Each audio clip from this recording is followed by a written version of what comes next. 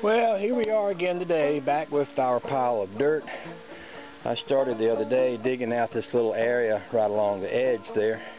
I was going to dig that out and kind of level the dirt out this way and it started raining on me. It's still pretty wet, but it'd probably dig pretty good. I'm going to put on my old big boots because I got a feeling I'm going to get good and muddy doing this and go ahead and dig out that little place right up along the bank there and uh, level this up about as good as I can. Then I can uh, go ahead and give the uh, gravel guy, gravel truck guy a call and have him bring me a load of gravel. That's going to be real good. Once I get a load of gravel in here, I can park cars in here again, and uh, that'll be helpful, get them out of the way. I got uh, cars sitting in the grass and stuff. And uh, I'll probably take some of that other dirt and move it around front. I want to put a front porch on the house after a bit too, so I'll use some of that dirt to level things up around here with. So with that said, I'll get my big boots, we'll go from there.